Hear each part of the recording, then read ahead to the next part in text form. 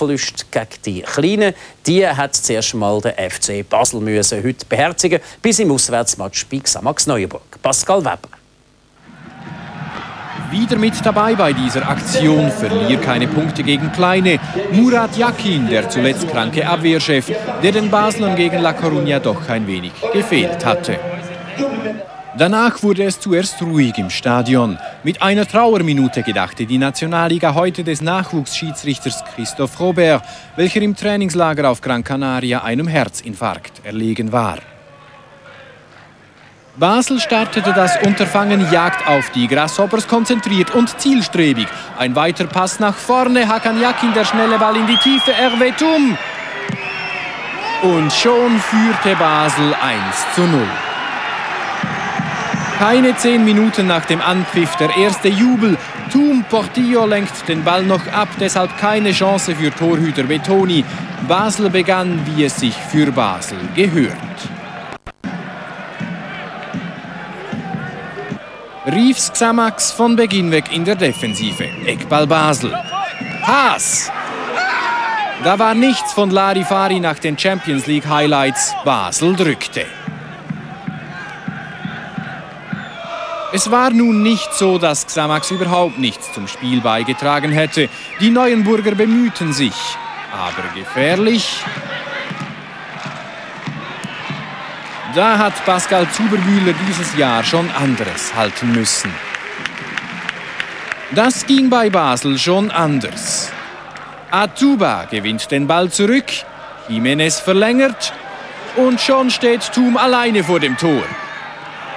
Zum Glück brauchte der Rossi-Ersatz dann zu lange, bevor er den Fuß richtig hinter den Ball brachte. So führte Basel zur Pause nur 1 zu 0. Die zweite Halbzeit und die begann, wie die erste aufgehört hatte, mit Basel.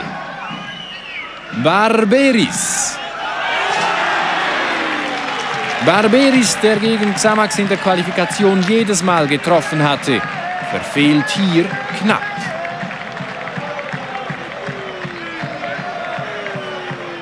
Und Xamax? Die Neuenburger versuchten es weiter aus der Distanz. Simo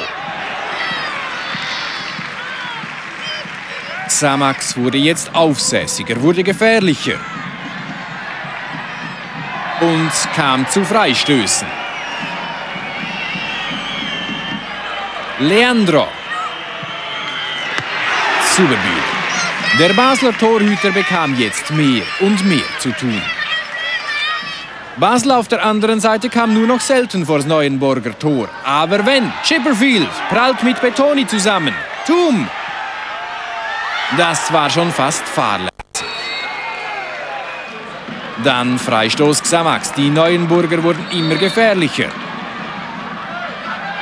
Bues. Und das hatte sich abgezeichnet.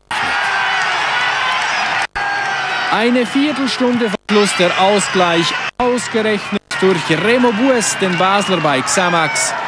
1 zu 1. Groß schickte als Reaktion weitere 2,1 Millionen Franken aufs Feld und wechselte den von GC abgeworbenen Miljanic ein. Das änderte aber nichts an der Tatsache, dass sich das Geschehen jetzt vor dem Basler Tor abspielte. Zwitzig schlägt ein Luftloch. Simon! 2 zu 1 verkehrte Welt auf der Maladier. Fünf Minuten nach dem Ausgleich Führung Samax setzte Basel jetzt gehörig zu und Marco Zwissig schaut hier speziell unglücklich aus mit seinem Schlag ins Leere. Die Basler Reaktion. Jakins weiter Ball. Zwissig. Betoni wehrt ab. Huckel. So ist das eben, wenn man plötzlich unter Druck gerät. Ganz locker dagegen Xamax. Mangane, Leandro Mangane. Valente, wieder Mangane und das war's. Das 3 zu 1 in der Nachspielzeit. Basel hatte sich in der zweiten Halbzeit zu sehr aufs Verwalten beschränkt und zu wenig getan und wurde am Ende von Xamax ausgekontert.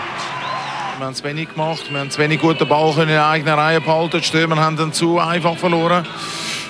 Dann ist die Druckperiode von Xamax und äh, Freistoß. Wobei ich bin nicht ganz sicher, ob es überhaupt ein Freistoß war. Aber auf dem zweiten Post hätte man das Goal nie einfangen Auf jeden Fall fing sich Basel bei Xamax einen schmerzhaften Nasenstüber ein.